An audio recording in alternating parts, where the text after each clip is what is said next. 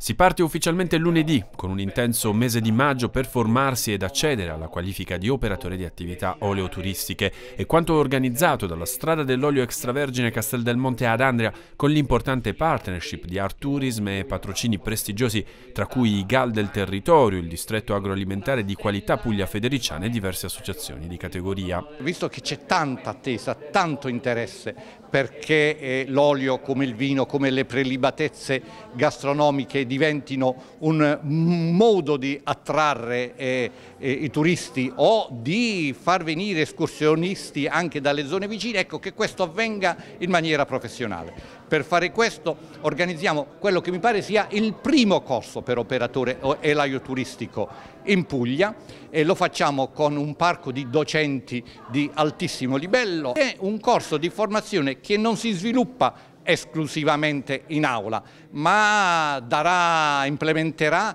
anche attività sul territorio. Coinvolgimento che c'è stato anche nelle iscrizioni, perché insomma c'è stata un'importante partecipazione. Certo, certo, eh, eh, ci sono adesioni che vengono dal sud barese e dal foggiano, questo è il segno che eh, operiamo eh, forse eh, come primi nel, nella nostra regione, quindi l'interesse per coloro che ci possono raggiungere sul territorio arriva anche da altri lembi della Puglia. Il corso che ha già riscosso un ottimo successo numerico ma che ha ancora qualche posto disponibile è rivolto ad appassionati del mondo elaio gastronomico ma anche a chi opera nel settore turistico e punta a superare un gap normativo che consentirà a breve di avere anche un albo specifico regionale degli operatori del settore. Spesso si parla di enoturismo ma non si parla ancora molto di oleoturismo. La vicina Basilicata ha addirittura già un albo dedicato in cui ci si iscrive come operatore oleoturistico quindi è sicuramente una figura che si sta sviluppando, sta prendendo piede. Ieri la presentazione ufficiale del corso ad Andria,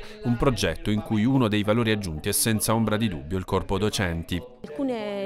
docenze saranno tenute da Fabiola Pulieri che è proprio l'autrice del libro che è a livello nazionale conosciuto sull'olioturismo.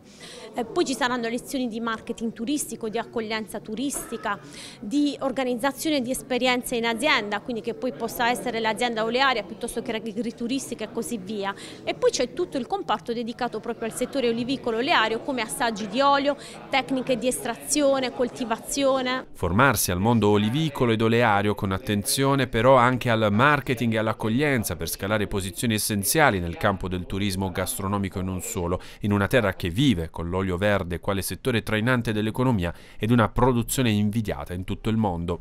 Abbiamo un prodotto assolutamente leader mondiale, lo posso dire senza, senza tema di smentita, eh, al quale però non fa da contraltare una qualità, ma soprattutto una, eh, una offerta che si distingua e che approfitti di questa grande qualità del prodotto per poter ancora di più eh, avere un, un fascino per chi poi viene da queste parti.